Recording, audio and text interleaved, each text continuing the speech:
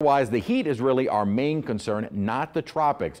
Two interesting facts with now tropic, uh, uh, Category 5 Beryl. It is the earliest Category 5 on record, and it's only the second Category 5 in the month of July. Previous, that was Hurricane Emily, but became a Category 5 on July 17th, so much later in the month this Beryl is just shattering records. And what I don't like is all of the records that it's shattering are from the previously active season. So it looks like we may be well on our way to seeing a very active season. Of course, that doesn't say anything about landfall. So Beryl right now with 160 mile an hour winds.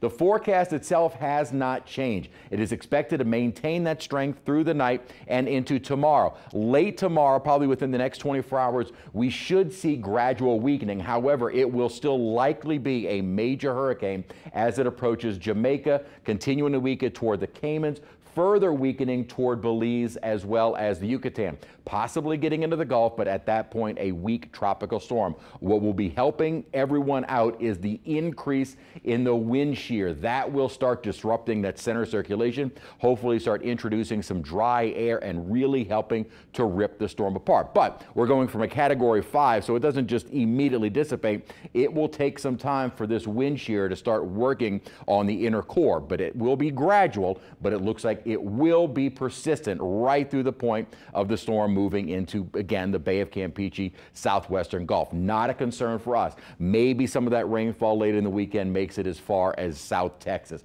For us, though, we'll be hoping for some cooling showers as the heat really not going anywhere through the holiday weekend.